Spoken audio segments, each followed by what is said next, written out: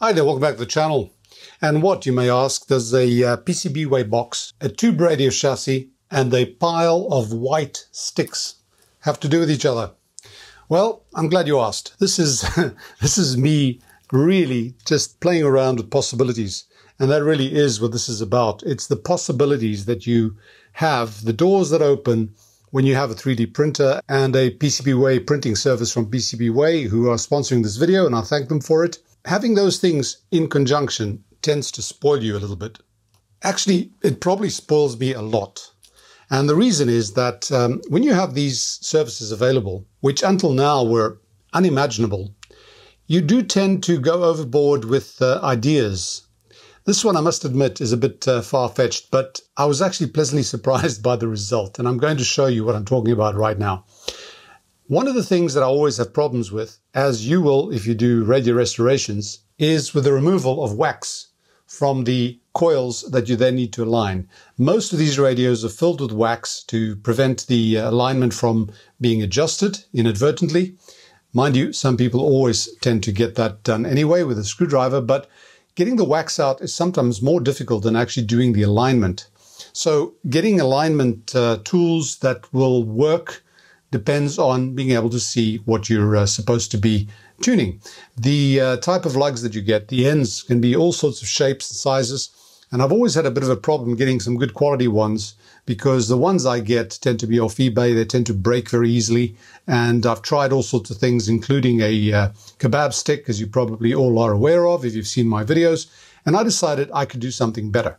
I decided I can make my own adjustment tools. Now, all this is is like a little screwdriver, but it's made of the uh, material from the 3D printer.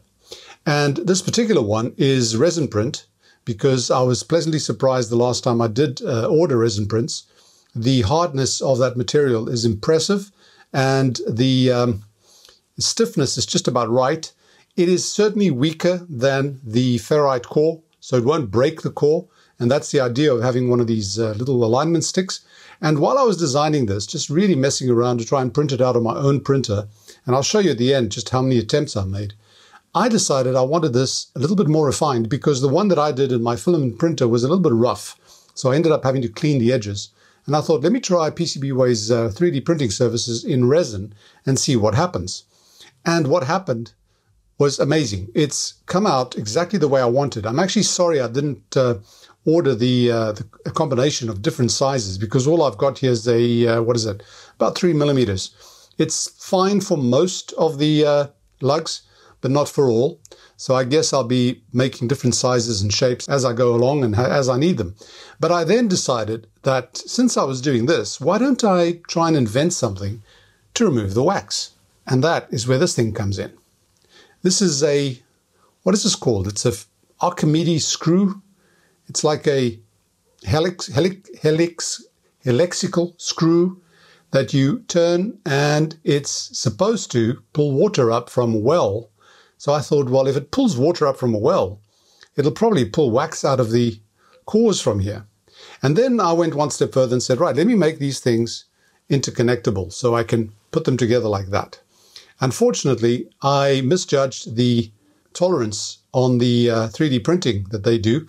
The one that I designed was for my 3D printer, and I've made the diameter of that hole and the diameter of that protrusion just so that they fit perfectly with my prints. Having done them in resin, they are a lot more precise and so it's a little bit loose, which means that if I want to use them like this, which was the idea, I'll probably just have to put a blob of glue in there and glue these things together. But the idea is I'll have a tool that I can remove the wax with this side and then adjust with the side.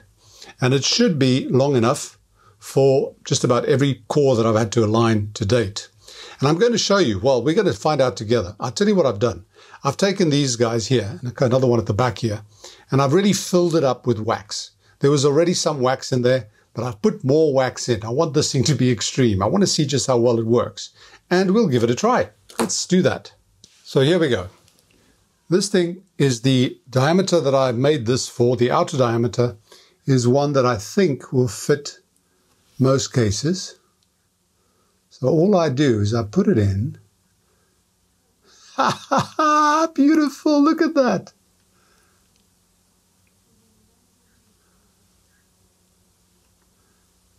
It's coming out. Oh, maybe not.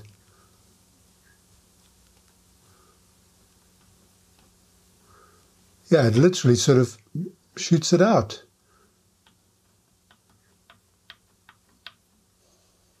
And yeah, all the wax is stuck in those grooves. So now, oh, what a messy job. Maybe I can design one that sort of self cleans as well. That'd be cool. All right.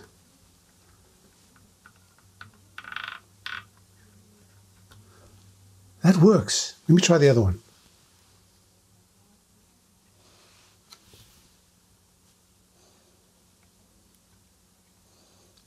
I love it. I love it. Oh man, it works.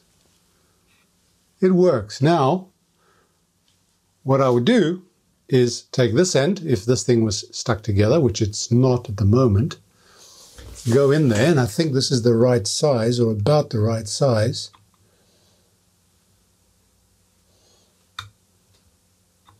Yeah. And I can adjust it. The wax comes out quite well. There's another one here. Let's try this one.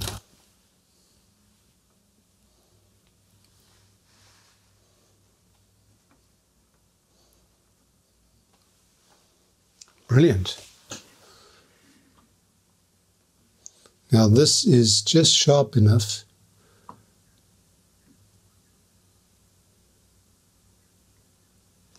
Yep. Ah, got it. That's useless. It hasn't broken, so it is working.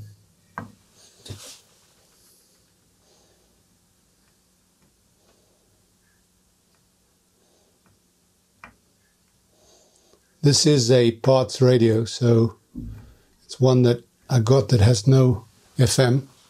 So that works pretty well.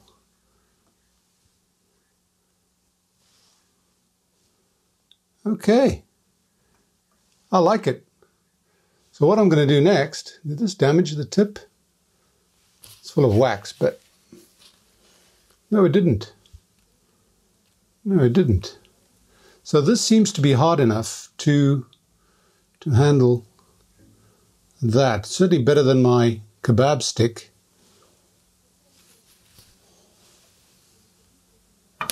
Whoops. Okay, I've got my alignment tools. Now, all I need to do is I need to basically make different ones as I need them because this happens to fit in these three, but it probably won't fit in all of them. In fact, I know it won't because some of them are narrower than three millimeters. And even if they do get sort of worn away, I can do one or two things. One is I can probably sand it down. And the other thing is I've got nine more.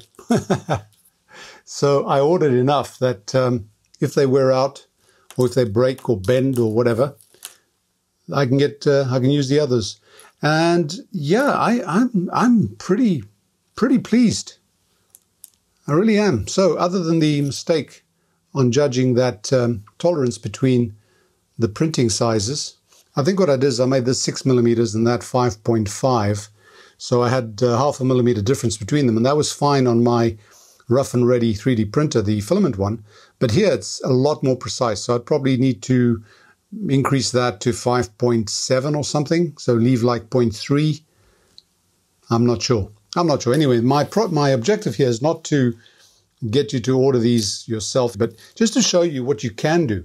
And if you've got a 3D printer and you've got uh, the ability to do some prototyping, and as you can see, I've done quite a lot of prototyping on my own printer before I order them. I did some with um, a wider thread uh, for some of those big lugs.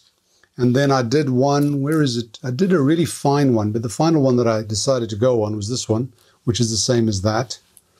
This is a smaller tip. So that would work on um, on some of the other ones. Is that uh, that was before I adjusted the size. So yeah, these are all rubbish. This is all going to the garbage. This is one that I tried with a very, very thin section on here. The thinner the internal bore of that um, screw, the more wax you can get coming in here, but then makes it very, very easy to break, as you can see. This is too brittle. And this is the uh, PLA, whereas the uh, resin print stuff is a lot, lot better. It's, it bends better, it's more flexible, but it's still stiff enough to use for this purpose. And I do know that I'll be going through these tips. I know that because some of these things are really, really tight. And when you try to turn them, if this doesn't break, that would break. So I'd rather have this thing break than have my core broken because um, there are a lot of difficult things to do on a tube radio, but repairing a broken core in a IF transformer is one of the worst ones that I know of anyway. So yeah, here we are. This is it. This is the uh, little experiment with uh, resin printing these uh, tools for removing wax. Yeah, this thing definitely needs to be self-cleaning. So you see, this is not, I'm being stupid now. There we go. That's ready for the next one. And that's my folly. Another one. So once again, thanks for watching. I hope you've enjoyed that. And if you have, click like, share, subscribe, and all that jazz. And I want to thank PCBWay once again for sponsoring the video and these uh, little gadgets. And I'll see you soon for the next one. Thanks for watching. Bye for now and stay safe.